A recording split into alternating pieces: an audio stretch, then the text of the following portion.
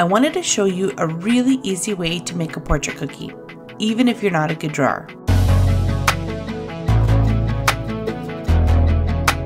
So the first thing you need to decide on is what picture you're going to do. I'll share some apps that I like to use to get the picture in a black and white kind of easy way to draw. So here on my projector you can see that I've taken a photo and what I want to look for is just make it the simplest I can. So not too many crazy lines, you know, something that when you break it down section by section is going to be easy enough to trace and color in.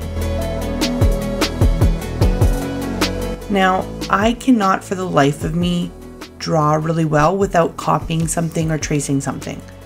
So if somebody wants a portrait cookie, this is a really, really great way to do it. Now I know it seems very easy because it's just kind of drawing and, and so on with the pen, but sometimes it can get difficult because you really have to trust the process. So I have a fine liner here, a fine point pen, and I'm basically just drawing the outlines of the dark areas I see.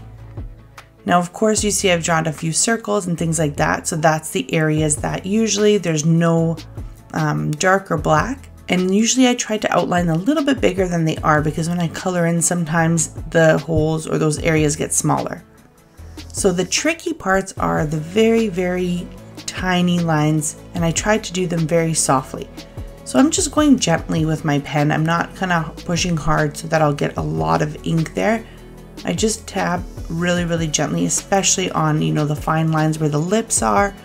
And then I can go in and darken it if need be. And one trick I've learned is when there's really, really fine lines, it's almost better to do dots and connect those dots than try to make a straight line or, you know, follow the line exactly. And so that's what I'd start with, It's just outlining the major things. And anywhere there's kind of not a shadow or anything, then I will just leave an outline around it.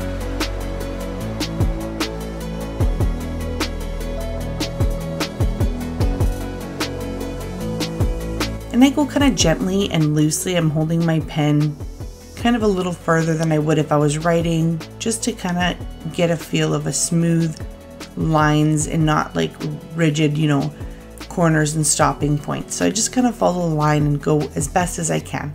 So now you kind of have a rough outline of what it looks like. You can see some of the dots on the lips there. I'm trying to do really fine lines, small lines. And then we're going to go ahead and color it in. So this pen that I use, I will link it down below in the description of the video. So it has a thicker marker on the other side. So one side is a very fine tip and then the other side is the marker. So you basically just color it in now. But any of those circles that I've drawn around the white spaces, I kind of outline them nice and thick and then I'll go around and color quickly.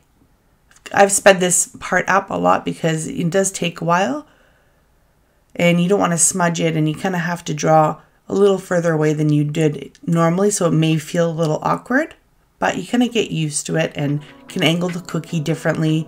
You don't have to keep it you know facing you the whole time to make it easier for yourself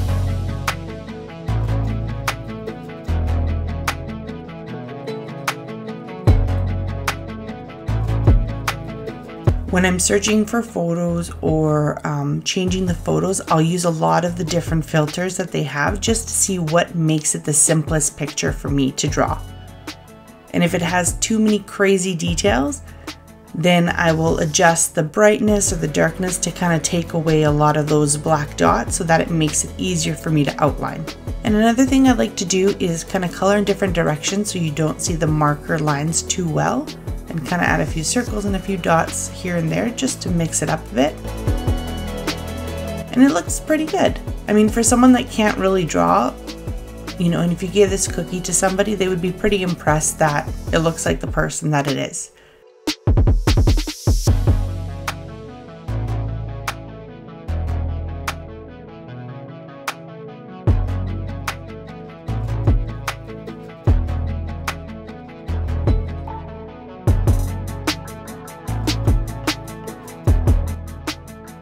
So at the end here, I'll show you the picture versus what I did and let me know what you guys think.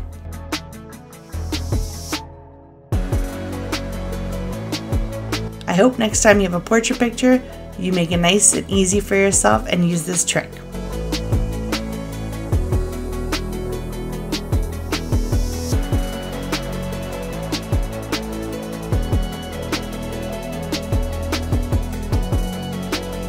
Don't forget to subscribe and see you in the next video.